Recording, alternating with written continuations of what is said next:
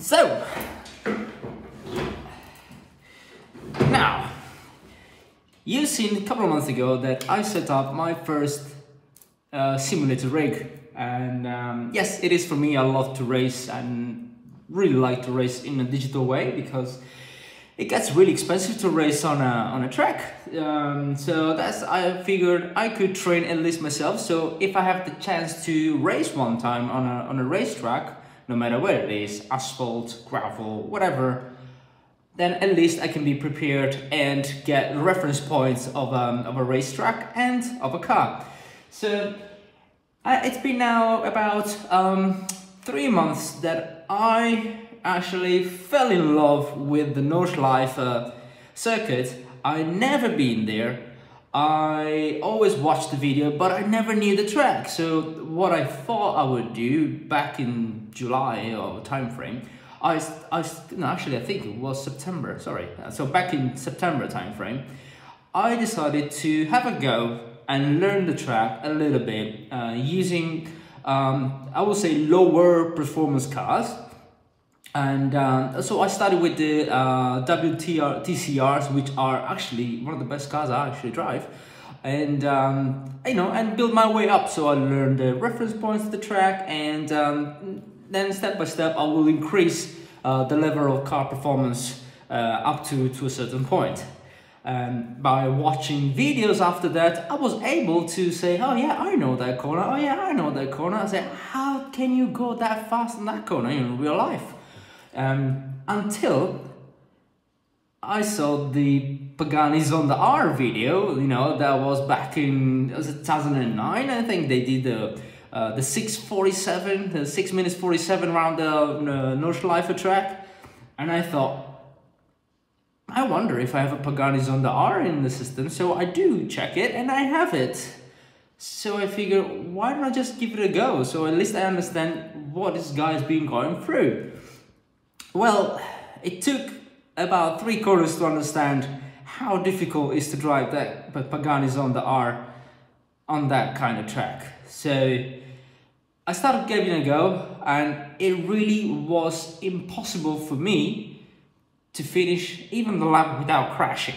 And honestly, with talking about the, the difficulty, it was just mind-blowing how fast this car is and how accurate you have to be with the throttle not to speed. So it took some time and uh, today I'm actually, I feel quite confident I can go around the Nordschleife with the Pagani and I want to challenge the world record that's been done on the real life. So I'm gonna give it a go, see what happens. So I'm gonna just click my system, switch it on. It's a little bit cold. It's a little bit cold, but yes. Um, we are now going to adjust my seat. We will choose uh, nothing here now. Uh, Germany, Nordschleife, the one we know, 20 kilometers point eight. and uh, we are going to choose the Pagani Zonda R. So it says 6 minutes 47. So we're gonna go around it. Uh, we're gonna go with the warm tires. Uh, oh, oopsie, did not select it. So yeah, gonna go with warm tires. So uh, heavy clouds, but dry and 26 degrees of temperature. And I think it was yeah I think that's that's fine. We, we don't want to do on a, on a wet track because I'll definitely crash. So without further ado I will start loading this stuff and get ready for this. I know it's, it looks weird and I'm wearing gloves. It actually isn't. The force feed that I get from from the steering wheel and from the whole system, which is 100% um, adjusted. So it's really 100% what you get from the car if you drove it in real life. It gives me like pain in uh, in my in my hand. So and, and proper grip if I use the glove. So I'm gonna go with it. So wish me luck and enjoy the race. And hope you enjoy the video.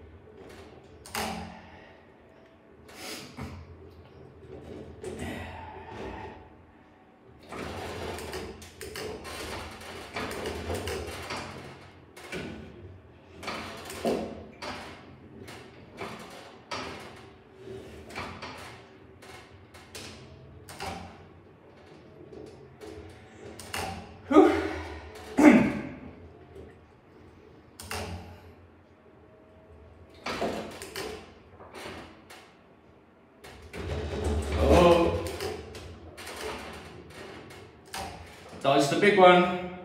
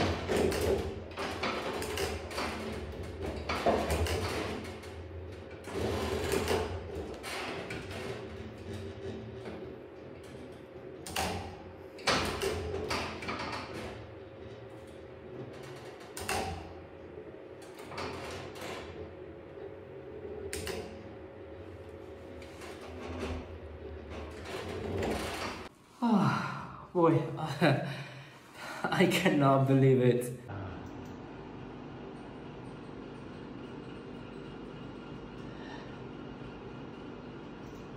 And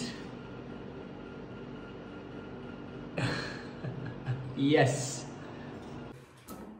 How hard it was to get like everything in order. It, like the most difficult part is not to uh, do the time like going fast is actually trying to keep the car in the track. It's just so so easy. And i had also a moment and it is so easy to go off the track and it's just amazing. It took me three three months basically to get everything in control with this car. And believe me uh, it's it seems like wow and, and even if it seems maybe easy it, it took me so much to to go through i have like so many replays that i have to go through uh, to on, on to, to go through on on the sim set uh, on the simulator to understand where I was actually uh, doing wrong. You know, uh, controlling uh, the lines, uh, checking how I was doing with the pedals, and especially with the throttle, which is the main reason why I was going um, off the track, spinning or going straight, and putting all in combination with also the actual videos that I watched like at least three times, like thoroughly, like corner by corner,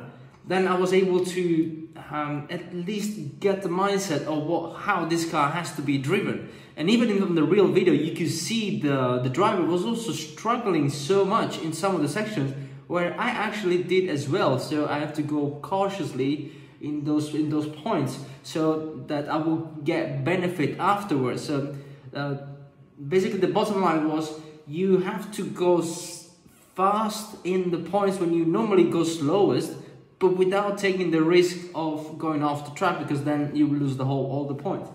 I'm really really so satisfied because um, obviously I've never driven the real thing and it will be amazing yeah we probably won't be able to drive it the way uh, it was driven in real time uh, in the real life um, but obviously this is the way we I can do it and it felt like I was inside the car. The sound of the V12 is so so ah, fascinating and it, it's, it's like music and uh, when I crashed a couple of times um, before this lap I I really felt like oh damn I'm gonna crush like a multi-million dollar car and uh, like a multi-million dollar car and I, it felt like I was actually damaging the, the, the real thing. Uh, uh, luckily we didn't today. Um, I'm very, very pleased. Uh, what car would you want me to drive next? Let me know in the comments and uh, I will tell you if it's possible. I will give it a go and I will keep you posted on the progress. Uh, make it difficult and give me a time. I'll try.